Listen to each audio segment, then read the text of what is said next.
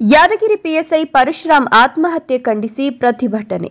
Sidlaghatta, Yadgir PSI Parashuram ಆತ್ಮಹತ್ಯೆಯನ್ನು ಖಂಡಿಸಿ ಜೈ ಭೀಮ್ ಚಲವಾದಿ ಮಹಾಸಭಾ ಸಂಘಟನೆಯ ರಾಜ್ಯ ಯುವ ಘಟಕದ ಅಧ್ಯಕ್ಷ ಕುಂದಲಗುರ್ಗಿ ಆನಂದ್ ಕೆಸಿ ನೇತೃತ್ವದಲ್ಲಿ ಸಂಘದ ಪದಾಧಿಕಾರಿಗಳು ಚಲವಾದಿ ಮುಖಂಡರು ತಾಲೂಕು ಕಚೇರಿಯ ಮುಂಭಾಗದಲ್ಲಿ ಸಾಂಕೇತಿಕವಾಗಿ ಪ್ರತಿಭಟನೆಯನ್ನು ನಡೆಸಿದರು. ತಾಲೂಕು ಆಡಳಿತ ಸೌಧ ಮುಂಭಾಗದಲ್ಲಿ ಛಲವಾದಿ ಮುಖಂಡರು ಸರ್ಕಾರದ ವಿರುದ್ಧ ಘೋಷಣೆಗಳನ್ನು ಕೂಗಿ ಪಿಎಸ್ಐ ಪರಶುರಾಮ್ ಅವರ ಸಾವಿಗೆ ನ್ಯಾಯ ಸಿಗಬೇಕು, ಶಾಸಕ ಮತ್ತು ಪುತ್ರನ ವಿರುದ್ಧ ಸೂಕ್ತ ಕ್ರಮ ಆಗಬೇಕು ಅಂತ ಸರ್ಕಾರವನ್ನು ಒತ್ತಾಯಿಸಿ ಪ್ರತಿಭಟಿಸಿದರು. ಪ್ರತಿಭಟನೆಯನ್ನು ಉದ್ದೇಶಿಸಿ ರಾಜ್ಯಾಧ್ಯಕ್ಷ ಶ್ರೀನಿವಾಸ್ ಮಾತನಾಡಿ, ಪೊಲೀಸ್ ಇಲಾಖೆಯಲ್ಲಿ ಚಲವಾದಿ ಸಮುದಾಯದ ಯಾದಗಿರಿ ಪಿಎಸ್ಐ ಪರಶುರಾಮ್ ಅವರು ಅತ್ಯಂತ ನಿಷ್ಠೆ ಹಾಗೂ ಪ್ರಾಮಾಣಿಕತೆಯಿಂದ ಕರ್ತವ್ಯ ನಿರ್ವಹಿಸಿದ್ದು, ಸ್ಥಳೀಯ ಶಾಸಕ ಚೆನ್ನಾರೆಡ್ಡಿ ಮತ್ತು ಪುತ್ರ ವರ್ಗಾವಣೆ ವಿಚಾರವಾಗಿ ಹಣಕ್ಕಾಗಿ ಬೇಡಿಕೆ ಇಟ್ಟ ಕಿರುಕುಳದಿಂದ ದಕ್ಷ ಪೊಲೀಸ್ ಅಧಿಕಾರಿ ಆತ್ಮಹತ್ಯೆ ಮಾಡಿಕೊಂಡಿರುವ ಘಟನೆ ನಡೆದಿದೆ.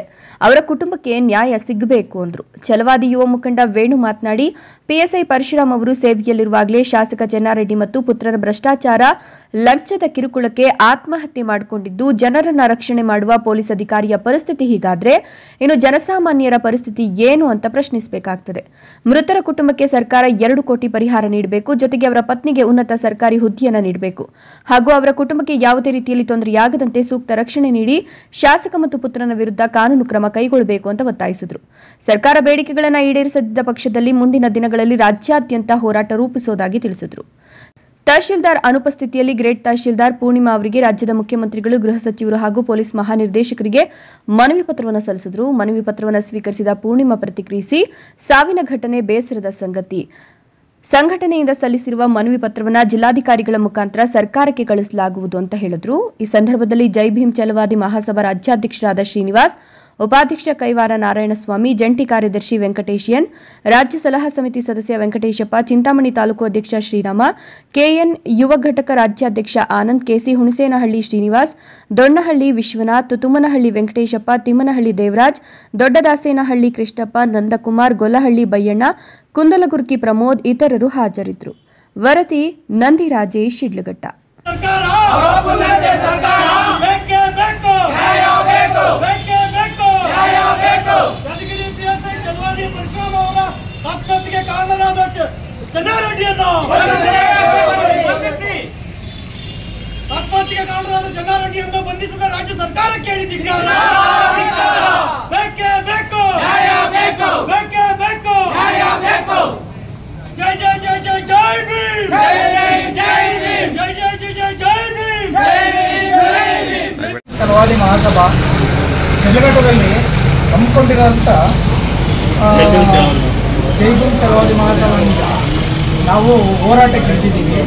ಈಗ ಏನಾಗಿದೆ ಅಂದರೆ ಯಾದಗಿರಿ ನಮ್ಮ ಚಲವಾದಿ ಸಾಹೇಬರಿಗೆ ಅನ್ಯಾಯ ಆಗಿರೋದ್ರಿಂದ ದಯವಿಟ್ಟು ಇದನ್ನ ಪರಿಶೀಲನೆ ಮಾಡಿ, ನಮಗೆ ನ್ಯಾಯ ಕೊಡಿಸ್ಬೇಕು ಅಂತ ಹೇಳ್ಬಿಟ್ಟು ಕಳೆಕಳೆಯಿಂದ ನಡೆಸ್ತಾ ಇದೆ ಅವರು ಫ್ಯಾಮಿಲಿಗೆ ಸರ್ಕಾರದಿಂದ ಅನುದಾನ ಇನ್ನೊಂದು ಮತ್ತೊಂದು ಬಿಡುಗಡೆ ಮಾಡಿ ಅವ್ರಿಗೆ ಒಂದು, ನನ್ನ, ಅವರು ಅವರು ಫ್ಯಾಮಿಲಿಗೆ ಅನ್ಯಾಯ ಆಗದಂಗೆ ಕೆಲಸ ಕೊಟ್ಟು ಇದು ಅಂತ ಹೇಳ್ಬಿಟ್ಟು ನಾವು ಹೋರಾಟ ಮಾಡ್ತಾ ಇದ್ದೀವಿ. ಜೈ ಭೀಮ್ ಮಹಾಸಭೆಯಿಂದ ಹೋರಾಟ ಮಾಡ್ತಾ ಇದ್ದೀವಿ. ಇವತ್ತಿನ ದಿನ ಏನು ನಾವು ಶಿಡ್ಲಘಟ್ಟ ತಾಲೂಕು ಮಟ್ಟದಲ್ಲಿ ಒಂದು ಪ್ರತಿಭಟನೆಯನ್ನು ಹಮ್ಮಿಕೊಂಡಿದ್ದೀವಿ ಸಾಂಕೇತಿಕವಾಗಿ.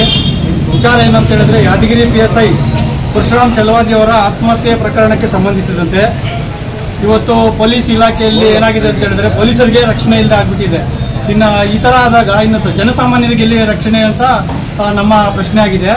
ಇವತ್ತು ಯಾದಗಿರಿ ಯಾದಗಿರಿ ಪೊಲೀಸ್ ಠಾಣಾ ಟೌನ್ ಲಿಮಿಟಲ್ಲಿ ಕೆಲಸ ಮಾಡ್ತಿದ್ದಂಥ ದಕ್ಷ ಪ್ರಾಮಾಣಿಕ ಅಧಿಕಾರಿ ಪರಶುರಾಮ್ ಚಲವಾದಿ ಅವರ ಆ, ವರ್ಗಾವಣೆ ವಿಚಾರಕ್ಕೆ ಸಂಬಂಧಿಸಿದಂತೆ ಅಲ್ಲಿನ ಸ್ಥಳೀಯ ಶಾಸಕರಾದಂಥ ಚನ್ನಾರೆಡ್ಡಿ ಮತ್ತು ಅವರ ಪುತ್ರ ಸುಮಾರು ಮೂವತ್ತು ಲಕ್ಷಕ್ಕೆ ಬೇಡಿಕೆ ಇಟ್ಟಿದ್ದು. ಅವರು ಅಷ್ಟು ದುಡ್ಡನ್ನು ಅಣಿಸಲಾಗದೆ ಅವರಿಗೆ ಮಾನಸಿಕವಾಗಿ ನೊಂದು ಆತ್ಮದ ಮಾನಸಿಕ ಒತ್ತಡಕ್ಕೆ ನೊಂದು ಆತ್ಮಹತ್ಯೆಗೆ ಶರಣಾಗಿರ್ತಾರೆ. ಅದರಿಂದ ಇವತ್ತು ನಾವು ಜೈ ಭೀಮ್ ಚಲವಾದಿ ಮಹಾಸಭಾ ಶಿಡ್ಲಘಟ್ಟ ವತಿಯಿಂದ ಒತ್ತಾಯಿಸುತ್ತಿದ್ದು ಏನಂತ ಹೇಳಿದ್ರೆ, ಅವರ ಕುಟುಂಬಕ್ಕೆ ಎರಡು ಕೋಟಿ ರೂಪಾಯಿ ಪರಿಹಾರವನ್ನು ಕೊಡಬೇಕು ಮತ್ತು ಅವರ ಪತ್ನಿಗೆ ಸರ್ಕಾರಿ ಹುದ್ದೆಯನ್ನು ನೀಡಬೇಕು. ಅದರ ಜೊತೆಗೆ ಈ ಆತ್ಮಹತ್ಯೆ, ಈ ಆತ್ಮಹತ್ಯೆಗೆ ಕಾರಣರಾದಂತಹ ಶಾಸಕ ಚನ್ನಾರೆಡ್ಡಿ ಮತ್ತು ಅವರ ಪುತ್ರನ ವಿರುದ್ಧ ಸೂಕ್ತ ಕಾನೂನು ಕ್ರಮ ಜರುಗಿಸಬೇಕು. ಅವರ ಕುಟುಂಬಕ್ಕೆ ಸೂಕ್ತ ಕಾನೂನು, ರಕ್ಷಣೆ, ಪೊಲೀಸ್ ಇಲಾಖೆಯಿಂದ ರಕ್ಷಣೆ ನೀಡಬೇಕೆಂದು ಇವತ್ತು ನಾವು ಪ್ರತಿ, ಸಾಂಕೇತಿಕವಾಗಿ ಪ್ರತಿಭಟನೆಯನ್ನು ಹಮ್ಮಿಕೊಂಡಿದ್ದೀವಿ. ಮುಂದಿನ ದಿನಗಳಲ್ಲಿ ಅವರ, ಇದೆಲ್ಲ ಅವರ ಕುಟುಂಬಕ್ಕೆ ರಕ್ಷಣೆ ಮತ್ತು ಸೂಕ್ತ ಕಾನೂನು ಕ್ರಮ ಜರುಗಿಸದೆ ಹೋದಲ್ಲಿ ರಾಜ್ಯಾದ್ಯಂತ ರಾಜ್ಯಾದ್ಯಂತ ಹೋರಾಟವನ್ನು ಮಾಡೋದಕ್ಕೆ ನಾವು ಜಲವ, ಜೈ ಚಲವಾದಿ ಮಹಾಸಭಾ ಸರ್ಕಾರಕ್ಕೆ ಎಚ್ಚರಿಸುತ್ತಿದ್ದೇವೆ.